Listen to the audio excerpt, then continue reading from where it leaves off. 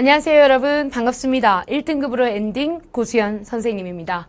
여러분 이제 저희가 막바지에 다다랐죠. 여러분 이때쯤 되면 이제 실전 모의고사로 여러분의 실력을 확인할 때가 됐어요. 파이널 강좌 직전에 여러분들이 구모를 대비할 수 있는 가장 확실한 비법은 바로 모의고사 실전 훈련이 되겠죠. 선생님이 작년에 그랜드슬램 모의고사로 고수현 모의고사 해가지고 이렇게 3회분 모의고사를 출시를 했어요.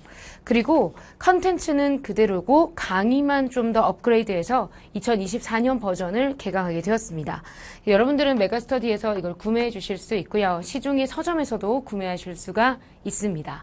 자, 그러면 올해가 좀 많은 이슈가 있었죠. 영어가 쉬워질 가능성도 높고요.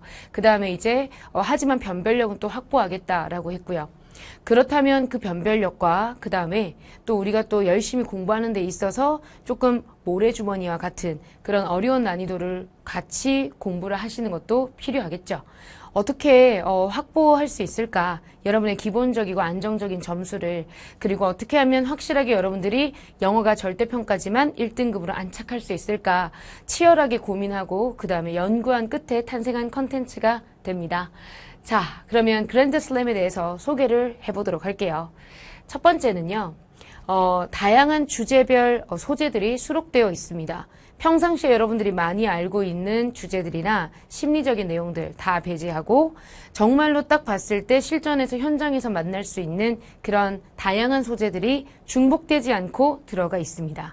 그 다음에 문장의 구문 자체가 어, 지나치게 길진 않지만 아주 읽었을 때 여러 가지 문장들을 다 조합해서 하나의 글을 통으로 이해해야지만 풀 수 있는 문제들이 곳곳에 배치가 되어 있어요.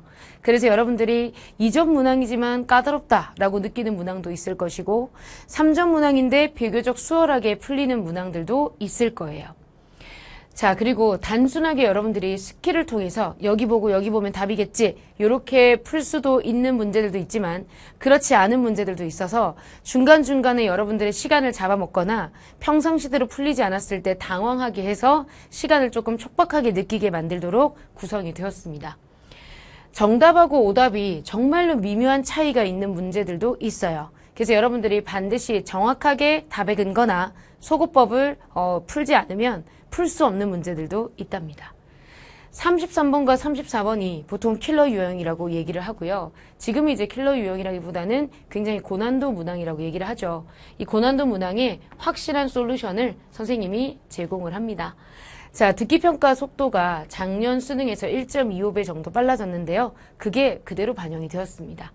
교재는 23년도에 만들어졌지만 실제로 듣기 평가를 발빠르게 이렇게 빠르게 바, 어, 반영을 했습니다. 자, 그러면 선생님은 어떤 식으로 강의를 할 건지 먼저 알려드리겠습니다. 여러분은 70분 동안 실전 모의고사로 듣기와 독해를 미리 풀어주시면 돼요. 그리고 어, 보통은 주말에 좀 시간을 내셔서 점심 드시고 1시 10분부터 2시 20분까지 딱 시간에 맞춰서 풀어주시는 것이 좋아요. 70분 완벽하게 다 활용해 주셔야 됩니다.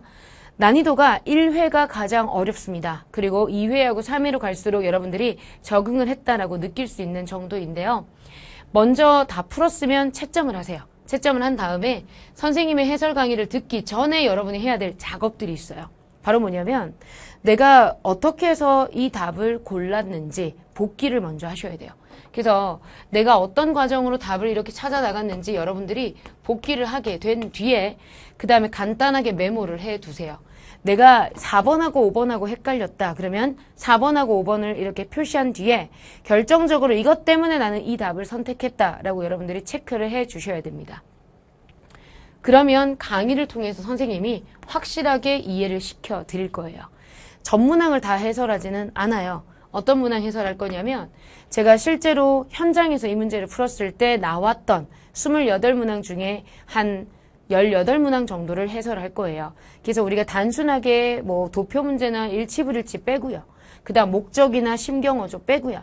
어, 여러분들이 좀 어렵고 틀릴 만한 것들 그리고 시간 단축에 도움이 될 수 있는 문제들 위주로 어, 해설을 할 거예요.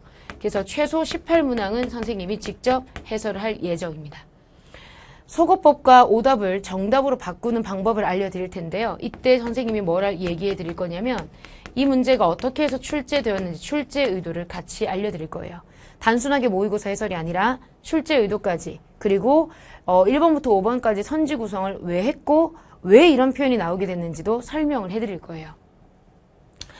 겉으로 봤을 때는 되게 복잡하고 어려워 보이지만 실제로 원리는 딱 한 가지로 여러분들이 점철이 될 수 있도록 어, 정확하게 정보를 전달해 드릴 겁니다.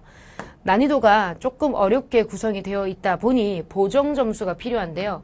여러분은 각 회차별 난이도에다가 여러분 받으신 점수의 8점을 보태셔야 돼요. 어느 정도로 어려운지 아시겠죠? 이렇게 하시면 여러분들이 완벽하게 이해를 할 수가 있습니다. 수업 시간에 선생님하고 이렇게 해설 강의를 하면서 정확하게 여러분들이 출제 의도도 파악하고 실전력도 기를 수 있도록 최선을 다해서 선생님이 해설 강의를 할 거예요.